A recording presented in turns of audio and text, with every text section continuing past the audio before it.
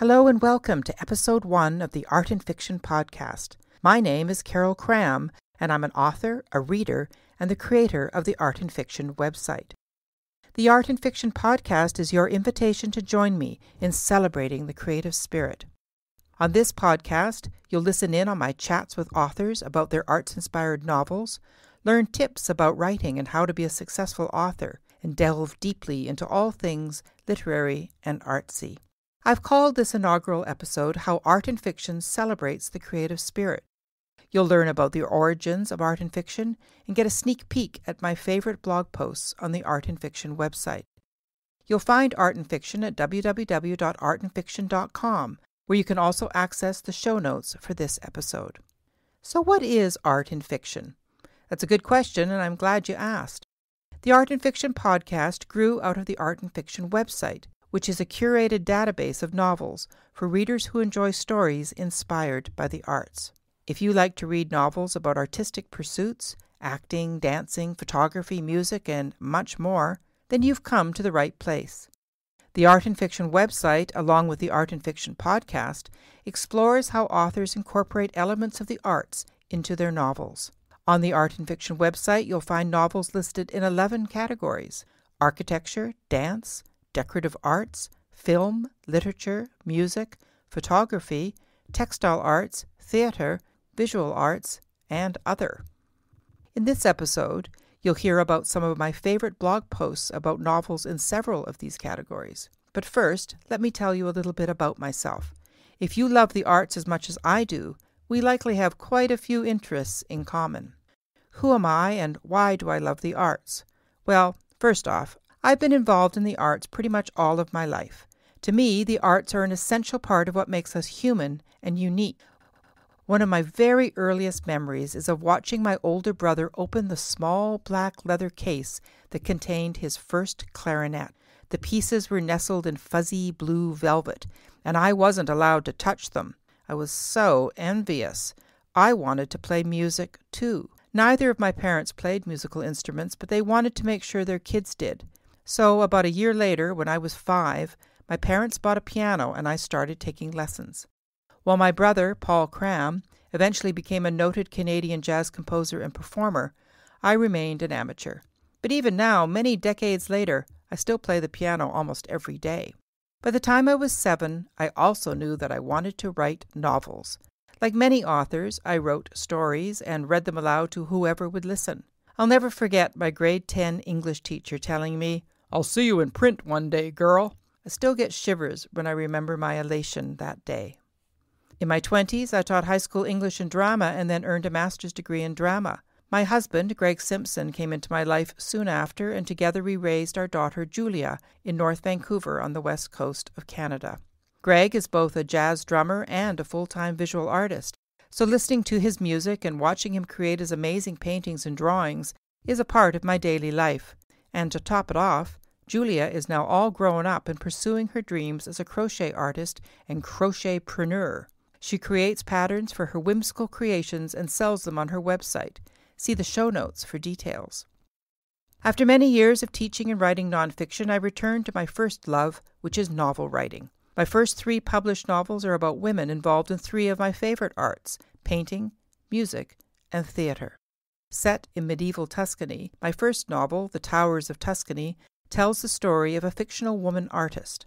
My second novel is called A Woman of Note and is about a woman composer in Vienna in the 1830s. And my third novel, The Muse of Fire, is the story of an actress embroiled in theatre riots in 1809 London.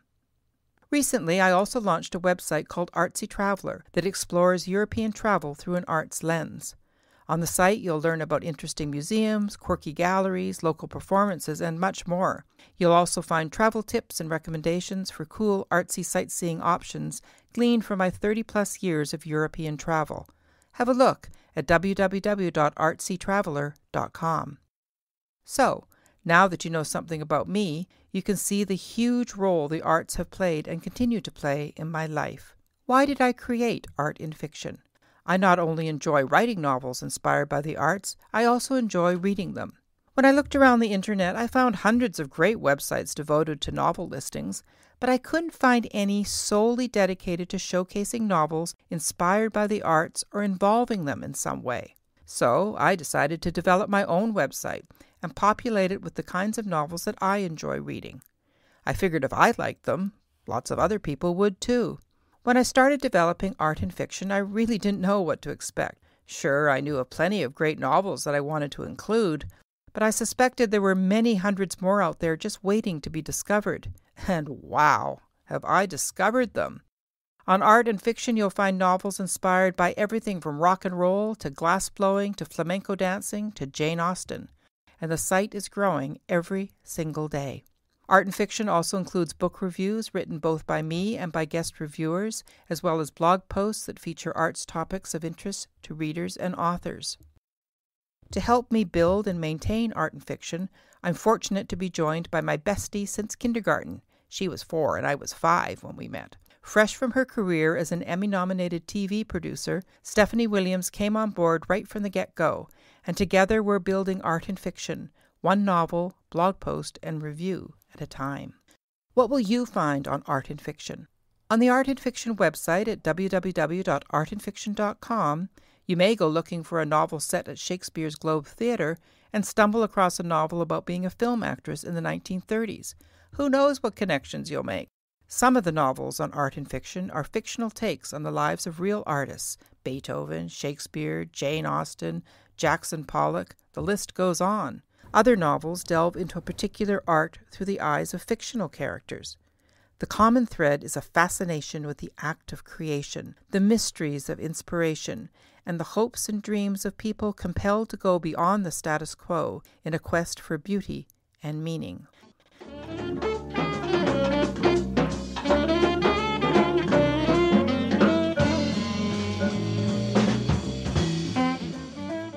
Time for a short break. I'm a huge fan of Pro Writing Aid. Described as a grammar checker, style editor, and writing mentor all in one package, Pro Writing Aid really does help you be a better writer.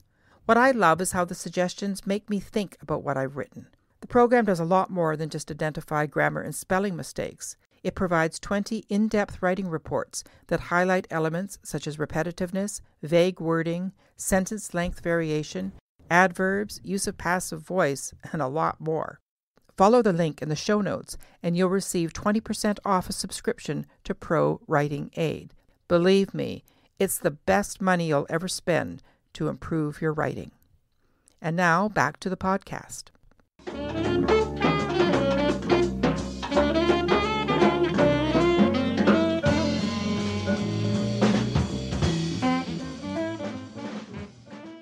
Discover 10 of my favorite posts the Art in Fiction website includes dozens of blog posts featuring recommended novels in the 11 art in fiction categories. Following are descriptions of 10 of my favorite posts. To find the novels featured in these posts, click the links in the show notes for this episode. Number 1 Musical Thrills and Chills Six Music Inspired Thrillers That Hit the Right Notes.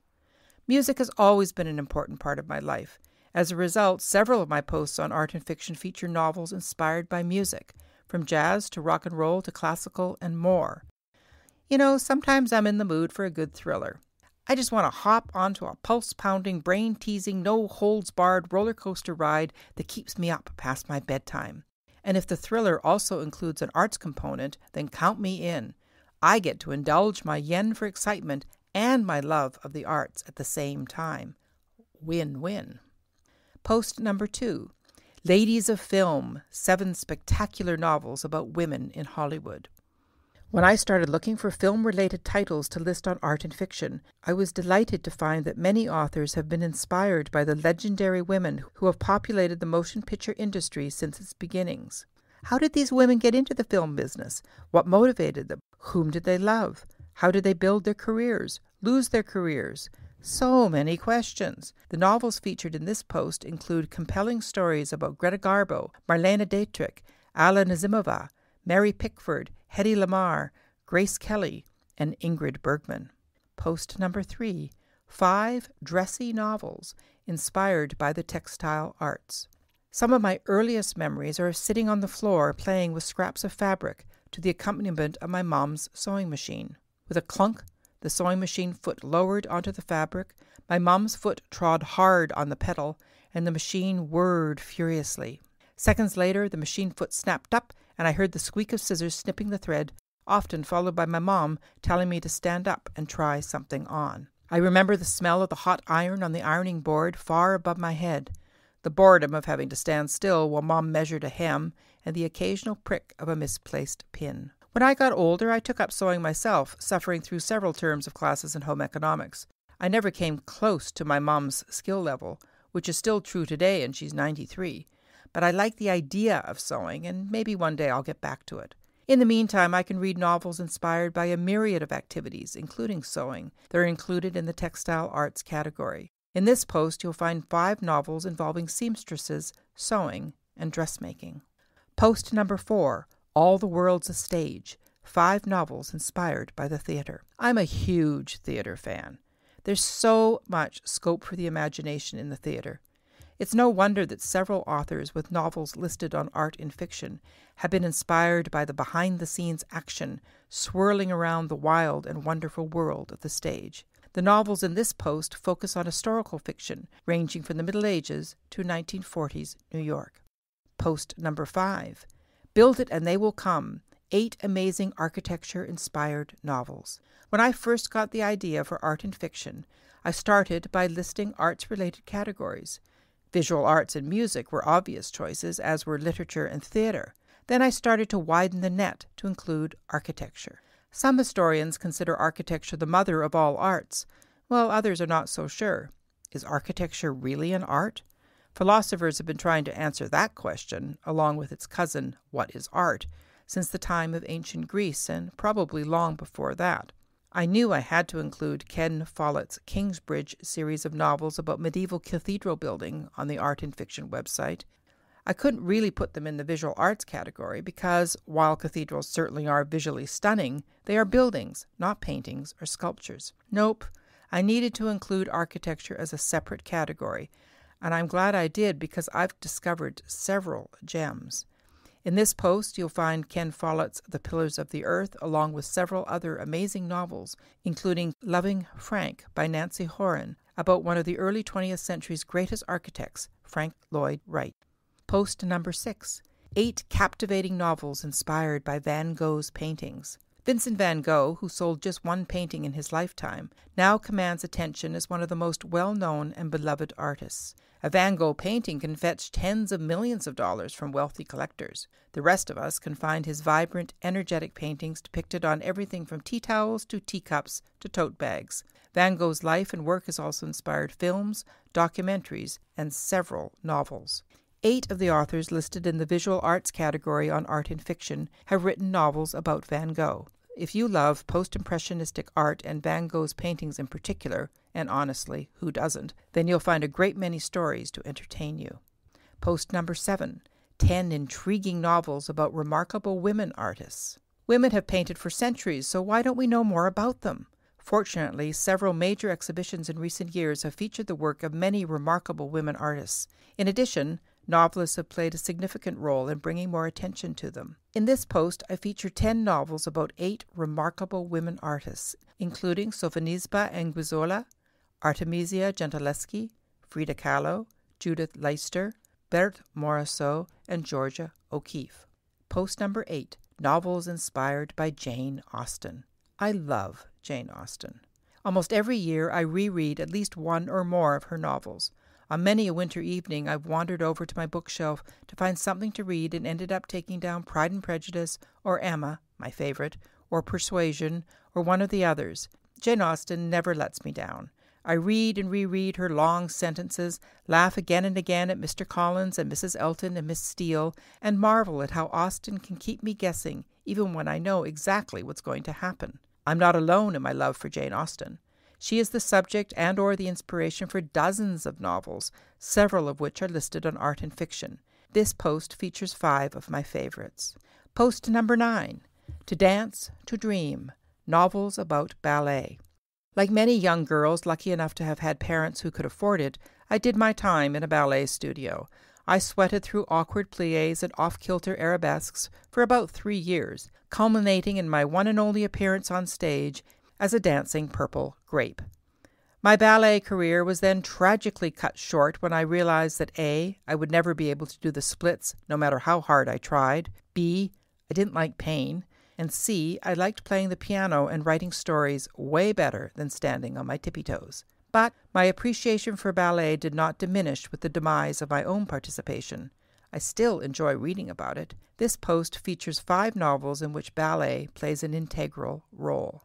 And finally, post number 10 novels about art in Renaissance Florence. In the 21st century, the city of Florence, with its incredible museums, churches, and chapels, is typically awash with tourists and as such resembles a kind of Renaissance Disneyland, well ordered and clean, with plenty of souvenir shops and wonderful gelato. Although many of the streets and plazas and monuments remain, the Florence of today bears little resemblance to the dirty, disease ridden, and chaotic Florence of the dawn of the Renaissance. But that Florence was also home to an unparalleled number of great artists, a flowering of intellectual pursuits, enough political skullduggery to rival our own time, and an obscene amount of wealth controlled by a handful of men. It's no wonder the art produced during the Renaissance in Florence has fascinated authors for centuries. This post features just five of the many novels on art in fiction that explore different aspects of the Florentine Renaissance from an art's point of view. All right, I've barely scratched the surface of what's available for you to explore on the Art in Fiction website. And now you have the Art in Fiction podcast. The arts really are my thing. You can check the show notes for links to all the blog posts I've mentioned in this episode. And be sure to visit Art in Fiction at www.artinfiction.com to find your next great read. While you're there, I encourage you to subscribe to Art in Fiction so you can receive the weekly update that gives you a sneak peek at the novel of the week, upcoming podcast episodes, featured reviews, blog posts, and authors, and much more. Access to all the wonderful art in fiction content is free. And please consider following Art in Fiction on Twitter and Facebook and giving the Art in Fiction podcast a positive rating. Thanks so much for listening.